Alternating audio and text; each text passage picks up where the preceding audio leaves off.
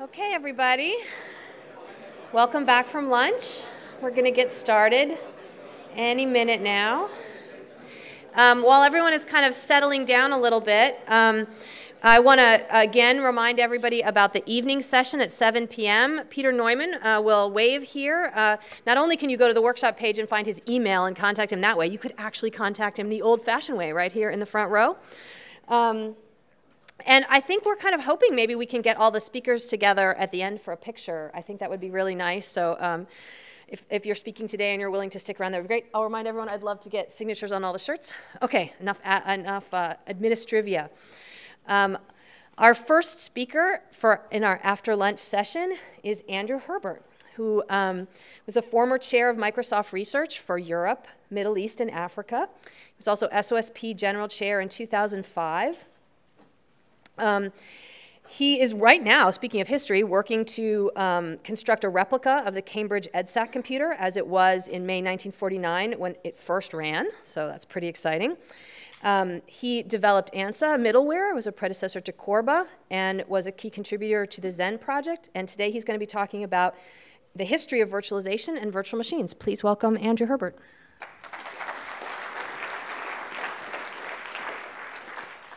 Thank you. So I thought I had retired. Um, that was my excuse to get on and build the EDSAC project. When I'm not building EDSAC, I play with old aeroplanes. Um, it was nice to get the invitation to, to come and speak here. It's even more pleasing because the flying season in the UK stops at the end of September, so you timed it perfectly. So I, I was invited to speak about virtualization, um, and it's an interesting topic, if only that there was a lot of very early work that went on, and suddenly it disappeared from the SOSP agenda for nearly 20 years, and now it's come crashing back with a vengeance. And it's quite interesting to see how the ideas have been resurrected and some of the changes over that period my first challenge in doing all of this was actually to arrive at a definition. Let me start the timer. To start at a definition of virtualization. I looked in Wikipedia, and the definition there isn't very helpful. It says virtualization is the art of running virtual things. It doesn't really tell you what, what that means. Um, and some of the early definitions are, were very focused on the idea that you're trying to run um, little mini clones, if you like, of the underlying host system and that didn't span the world where we think of things like the Java virtual machine, whereas part of virtualization, we're also changing the, the semantics of the environment in which applications run. So I constructed my own definition, and you're welcome to quarrel with it and invent a better one of your own, that, that virtualization is a property of operating, operating systems that gives the illusion of efficiently running multiple independent computers, known as virtual machines and the um, software that provides that illusion is known as a virtual machine monitor or, or hypervisor. Um, and really the important word in that is the concept that what is being offered as an abstraction is a complete computer in its own right, and the person writing software to run in the virtual machine does so as if they were writing on a, a raw piece of hardware of their own. The changes that have happened over the history of virtual machines are from the early days where it was exactly mimicking the underlying hardware. And indeed, the aim was for the, the virtual machine to run as much as it could on the, the basic physical machine itself. Increasingly these days, more of that virtual environment is abstract, and I've got some things to say about some of those abstractions as we go through. I'm going to break the talk up into four related areas. Obviously, the, the place to start is talking about the origins of virtual machine monitors themselves. Then I want to look at layered abstract machines, something that Barbara Liskov mentioned this morning. It's obviously very strongly related to the, the virtual machine concept, the idea you might build an operating system by developing ever more abstract layers until you get to the layer that you're prepared to offer something to the user that you think is an improvement over the raw hardware. I then want to look at um, virtualization as it appears in operating systems processes. The history of operating systems has been about offering a cleaner interface to the user for writing their applications than that of the raw hardware and see what some of the virtualization concepts are there. And then finish up by looking at how we might address virtual resources and that's where I get a chance to reflect a little bit on my background in capability systems um, and speak up for them, um, certainly in their role as low-level system names. So the origins of virtual machine monitors go back to the very early days um, of virtual memory. Um, as we heard in, in Satch's talk, virtual memory was invented by Manchester University for the Atlas computer. And what they were trying to do there was to automate or make transparent what had previously been called overlaying. If you were writing for machines before paging was invented and your program or your data were larger than the machine's memory, and typically in those days machine memories were as small as perhaps 16 or 32K, you had to arrange to swap things backwards and forwards between a drum or a disk and the memory of the machine. At the Atlas team invented the paging concept, and they found that typically gave them performance improvement of two to three times over the manual method and gave the application programmer the nice clean abstraction of a large address space, parts of which could be executing in the physical memory of the machine and Peter Denning talked about the, the concepts of working set and so forth. Well, in the early stages, people were interested in researching what those page replacement policies might be. IBM were very excited by the paging concept. IBM always had a tradition of inventing their own names for things, and so they called paging dynamic virtual memory. Um, talking to some of the people who were around at that time, we think they picked the word virtual as a kind of illusion to um, optics and that you know, your program was running in a virtual image um, of this extended store that was mapped into the physical page frames.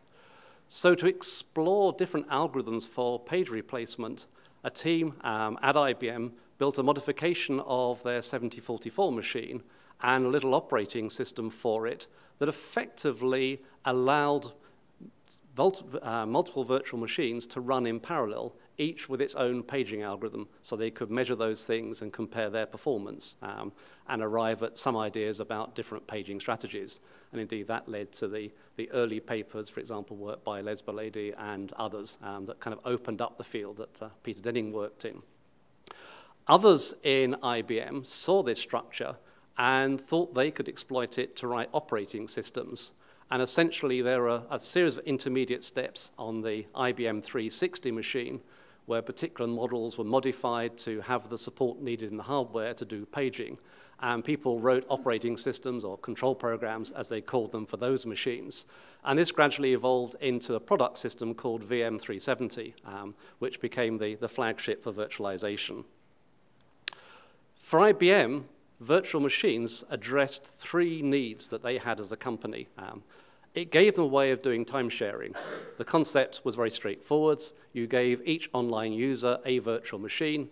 In that virtual machine, they ran a conversational operating system and did their program development independently of what other people were running in their virtual machines. And so it was a nice model for, for time sharing. Um, importantly, one of the challenges that IBM, like many other manufacturers of that era, faced was um, they needed to be able to run old applications on new machines. I think Satcher mentioned the, the problem of every new machine came with a new instruction set. Um, and um, in IBM's case, those new machines also came with new operating systems. And part of the challenge was wanting to better run multiple applications under multiple operating systems on the same machine. And the virtual machine monitor concept gave them a way of doing that. And then the third advantage um, was that it allowed developers inside IBM to develop new operating systems using the virtual machine concept as a way of doing so. And so all the kind of development tools they have for programming applications could also be there for, for developing operating systems. And they got away from the, the model that many other manufacturers um, suffered from of needing to have dedicated machines for people to do systems development. Um, and many of us who did our research on operating systems in the early 70s remember waiting until nighttime when the users went away and you could take over the machine, and then you could go and load your version of the operating system. The Cambridge model of that was you'd come into the lab mid-morning. Um, I'll explain why mid-morning when I get to the end of the cycle. You would spend the afternoon coding your magnificent change to the operating system. At six o'clock, the users would go away. You would boot the machine with the image of your new operating system. It would instantly crash and produce a large dump, at which point you would go Roger Needham to the pub, you drink significant fractions of beer, um, go, and, go and have an evening meal, usually something of uh, very absorbent nature, and then come back into the lab at about midnight and try and work out what the bugs were in your program and fix them. And you got home about four in the morning, which explained why you didn't come in until 11 the next morning. Um, the IBM VM model um, was a way of getting around those restrictions. So the structure of VM um, 370 was very straightforward. At the base of the system was their virtual machine monitor or control program. It did um, a few very simple things. It provided um, the scheduling of the virtual machines. It provided paging for the virtual memory.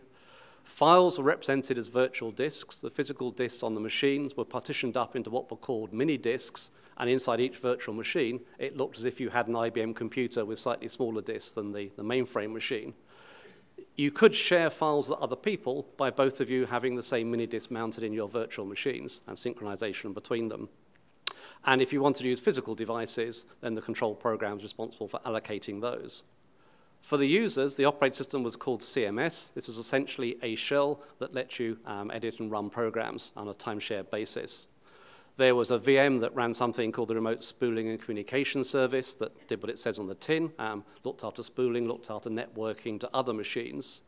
And importantly, you could also run VMs with other IBM operating systems in it. And in fact, we did this at Cambridge, our university data center. Um, its first IBM machine ran something called MVT. Um, when we got a successor machine, we wanted to move to MVS, but that required rewriting of the software. And so for the first couple of years of the new machine, we ran MVT under VM370 while migrating the software to MVS, and then ran MVS as a native system after that. And that was a very common paradigm for the users. Virtualization, um, virtual machines were a popular topic in SOSP in the early days, particularly the early 70s, um, and people looked at extending the idea to other computer architectures. An important paper from that period was written by um, Jerry Popek and Robert Goldberg, which tried to formalize what it took for an architecture to be virtualizable, because they discovered that not every machine um, could be um, turned into a, a, virtual machine architecture. And they talked about um, machines which are capable of pure virtualization as opposed to those which required some kind of hybrid technique. And by pure virtualization, they meant that um, all, all these sensitive instructions that reveal processor state were privileged. And therefore, um, when you were running in the simulated privilege mode inside a virtual machine, that would generate a trap, and only those instructions had to be executed by software. And so your virtualized um, operating system supervisors running inside the virtual machines mostly ran as native code, and that got you the kind of performance you require for the system to work well.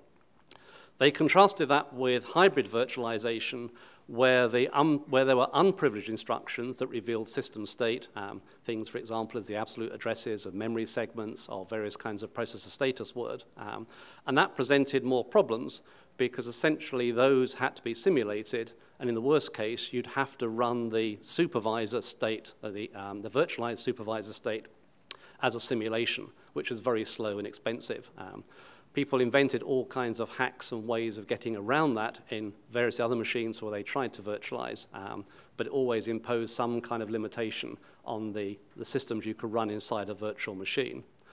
One of the techniques that we'll talk about in um, the more recent virtual machines is using binary rewriting to fix that. That wasn't an option in the late 60s, early 70s. The address spaces were so small there were no holes into which you could put code that you wanted to jump to. Um, and so the, the concept was you had to do this by trapping and simulation. It was the only way to get into a bigger address space. Um, and that was kind of really rather restricting.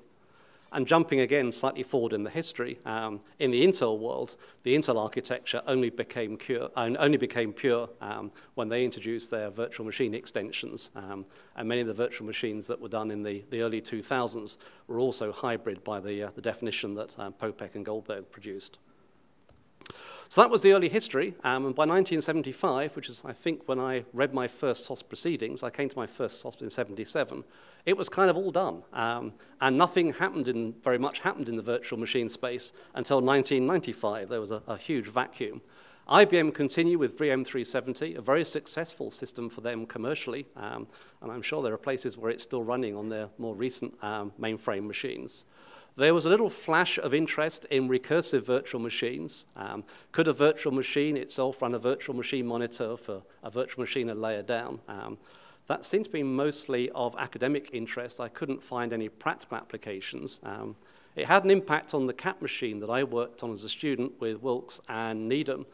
The process um, model we had in that machine allowed us to have a process hierarchy so we could think about doing recursive things. We never used it, and it was one of the things that impacted the overall performance of the machine that made our hardware capability architecture less efficient than it might otherwise have been. Um, and so that was a bad idea. I don't believe in process hierarchies. Then in the uh, mid-90s, virtual machine monitors made a reappearance. Um, but in a different way. The research wasn't on the engineering of the virtual machine monitor itself. It was using them as a way to achieve um, what I've called here special effects. Um, and there are, there are two papers that particularly illustrate this. Um, Fred Schneider and his colleagues looked at using a hypervisor to essentially track and order events um, going into replicas, um, which they ran in separate virtual machines so that they could um, do the kind of consistency mechanism needed um, to give themselves state replication and state consistency. Um, and they were hoping that that would give them a software-based approach that would compete with some of the um, hardware-based replication mechanisms that people were using at the time. They found it imposed an overhead. Um, that overhead um, was about a factor of two, and the problem that the people who were doing hardware um, replication had was by the time they designed their replication, hardware had moved on, so their, their, their replication platforms ran at about half the speed of the next generation. So it was kind of a score draw, to use a soccer analogy, um, in terms of the two approaches. The other paper, which I think was quite influential um, a little bit later, um, was work by Peter Chen and his group, where they used a virtual machine um, as a means to collect the events going on in the system so they could go back and look at the logs later and do intrusion analysis. And so there's a kind of model here of using a virtual machine monitor as a way to transparently intercept what's going on inside an operating system and use that to subtly change the semantics or recall what's going on inside the system. And I think those systems were quite interesting from that point of view. Then the agenda moved on back to looking at how to do um, virtualization for the purpose of running multiple operating systems, the old IBM problem again. Um, that arose um, because there were people who wanted to use one operating system for their research and their development, um, typically a Unix-based system, but they had a requirement to use PowerPoint for their presentations, and so they wanted to run Microsoft um, on the same platform. And so the, the technical problem was operating system coexistence. And um, a number of companies produce products to do that. Um, VMware, for uh, VMware Desktop for Windows is a particularly well-known one. Um, and the idea there is that the virtual machine monitor runs um, as an application um, in a host operating system. And the virtual machines run the guest operating system. So the host is Linux-based, the guest might be Windows. And in that context, the virtual machine monitor could use the host operating system services to access the filing system and access the, the network and so forth.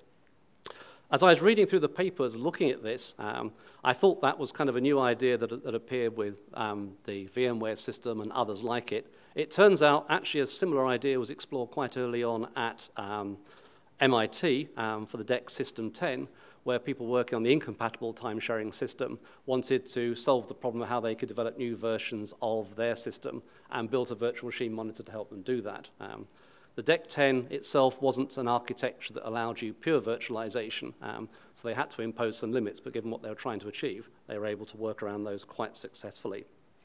And so the Type 2 VMs came along to solve the, the problem we had on desktops. Another important system um, in the late 1990s was the, the disco system, which really um, was the start of reinvigorating looking at virtual machines running on the, the bare metal. Um, in the literature, people classify um, virtual machines that run on the bare metal, like, like um, IBM's VM370 as type 1, the ones that run embedded in the host operating system as, as type 2.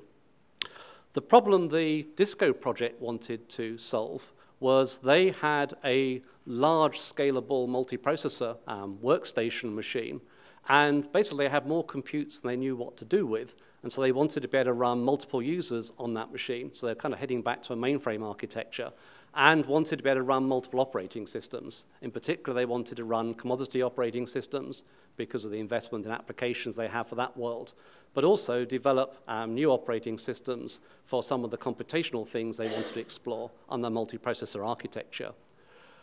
The hardware they used um, was Silicon Graphics machines. Um, again, that um, didn't have the architectural support that you needed to do pure virtualization, so they had to go down a hybrid approach.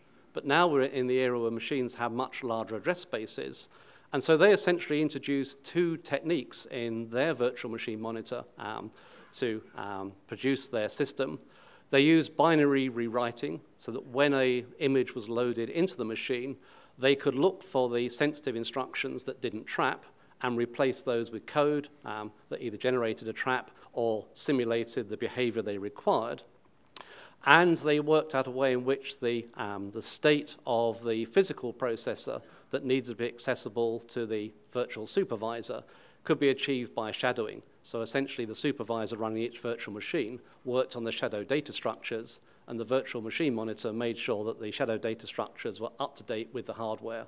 And if there were changes in the hardware, they were propagated through to the shadows. If there were changes to the shadows, they found their way into the hardware when the virtual machine was, was, was scheduled. And that worked um, very well. And that technique was, was copied by many others. Interestingly, um, the people who worked on Disco are the authors of the patent, which is um, held by VMware um, and um, first attributed to their Type 2 system and the VMware for desktop machine.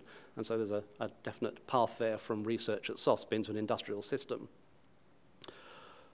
There were then a flurry of papers looking at how to um, do a better job of engineering virtual machine monitors. Um, again, sticking with VMware, there's, I think, a very important paper um, by Waldspurger where they looked at the problem of how you stop the virtual machine monitor fighting the operating systems in the virtual machines. Um, if you think, for example, of paging, inside each virtual machine, there is a paging system that is choosing based on the behavior of the applications in that virtual machine which pages to throw in and out of memory.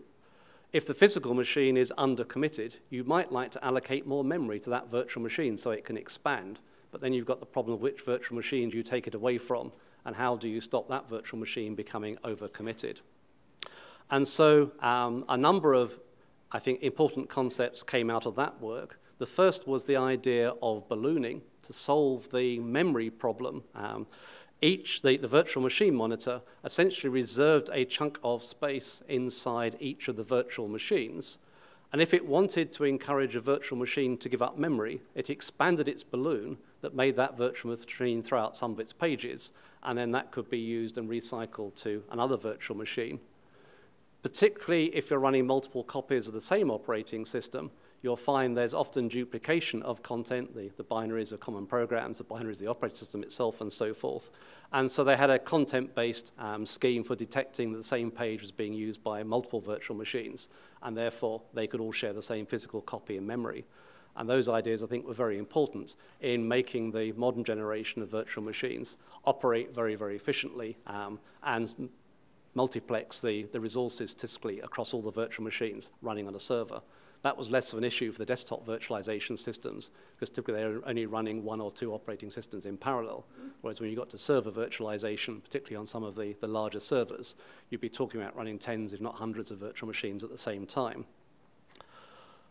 These hybrid schemes came with some cost in performance. You had to do um, things like the, the, binary writing and the shadowing and maintaining that information consistent. Um, and so another, another strand of work um, typified by the, the Xen papers. Um, Jenna was a little bit generous. Um, it was some of my staff who were involved in Xen, Um, Xen certainly picked up on some of the ideas from some of the earlier Cambridge operating systems I've been involved in. Um, but I don't, don't think I can take any blame um, or guilt by association um, from the, the Xen work. Um, their concept was called paravirtualization.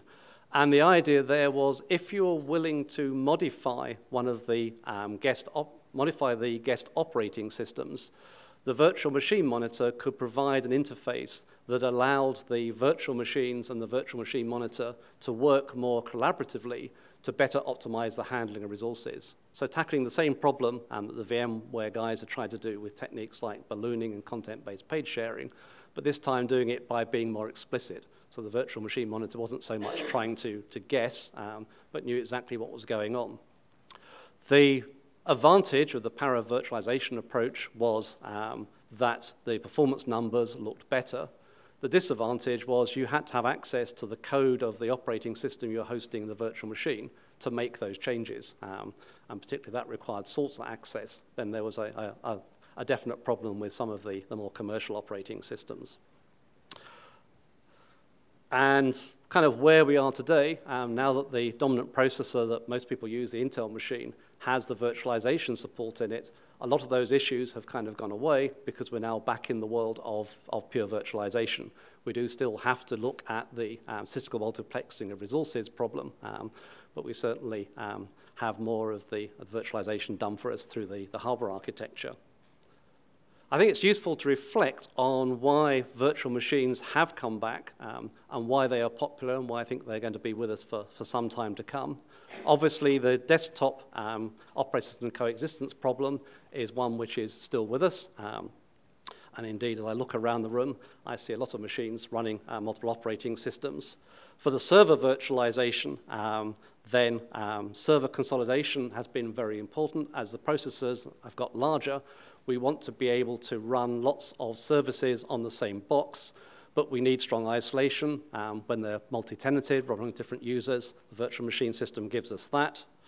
We want the statistical multiplexing resources to make them more efficient. Um, and the virtual machine model has become the model of choice for managing, managing server workloads. Most of the virtual machine systems give us a management interface for doing that. I'm out of time, but I'm going to skip over just a couple of areas that I would have mentioned if I'd had more time. Um, I wanted to pick up on the same issue um, that Barbara talked about of layered abstract machines. She covered that very nicely, um, but make a comment that a number of people explored um, layering as a technique to make their systems more secure, dealing with the challenges of the Orange Book that Butler mentioned. But they found a conflict between how you want to modularize your system from a software point of view and the layering abstractions you wanted from your operating system. And initially, all the systems that use layering were done by people with a programming language background. Um, others felt layering might be inefficient, but Doug Comer's work on Xinu um, showed us that um, it doesn't have to be the case. I'm going to skip over virtual environments, because I think much of that has been said, um, and come to what I'd like to leave you as, oops, overshot. Don't you love Microsoft technology?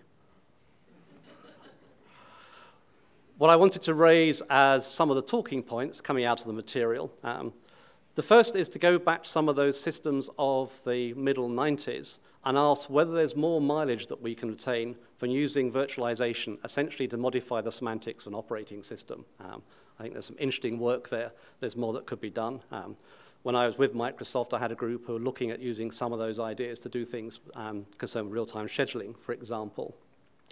I think there's a challenge in understanding security and virtual machine monitors. A virtual machine monitor is not a trusted computing base. The security perimeter kind of threads all over the place, particularly in the type 2 systems where you're relying on a host operating system. And I think there's some serious exposures there. It'd be nice to address those. Um, I do think it would be interesting for us to revisit layered abstract machines as a system design implementation principle um, because it does, I think, lead to um, a simplified implementation approach and makes your system more amenable to um, being verified as being correct. And that takes me to my final point. Um, my, my reference for verification of layered systems in the early days was all done by manual verification. More recently, we've had work such as that done on the um, seL4 system, um, which has shown that a modern operating system can be automatically verified, um, and that work goes on. And so my question to the community um, is why aren't systems proved correct by default these days? We seem to have the technology to do that. Thank you.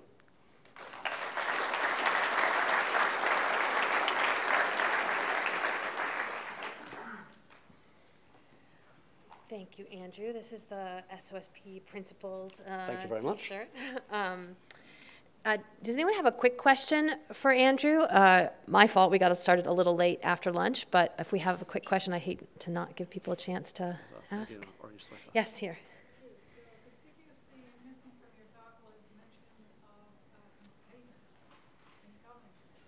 I had too much material. I'm surprised we aren't getting more comments of that kind today because there's just 25 minutes to overview a whole area. There's, I think a number of us Yeah. hope to put together some kind of compendium of papers, and there'll be certainly more depth in those. oh, that would be a really nice Right. addition. Great idea. Okay. Okay, thank you. Thank you so much, Andrew.